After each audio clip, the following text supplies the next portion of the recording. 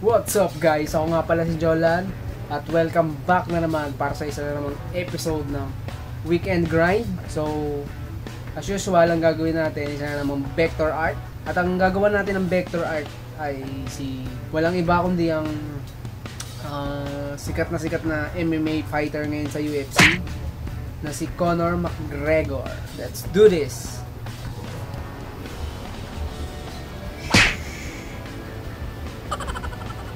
Number.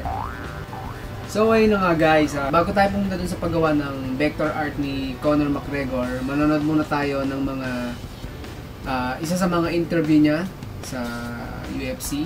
Papanoorin din natin ang, ang mga highlights ng kanyang career sa pagiging ah, UFC fighter niya. Let's do this. Let's go. Boom.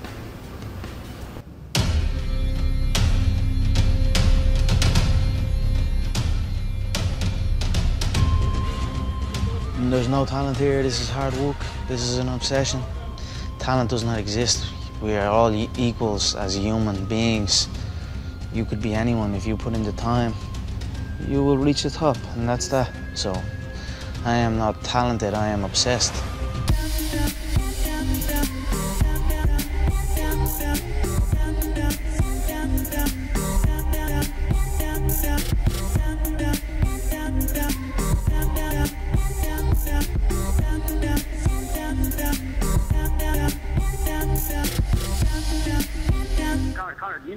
wrestling here?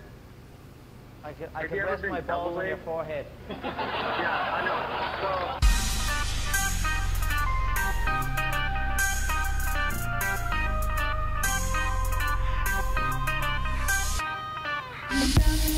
So.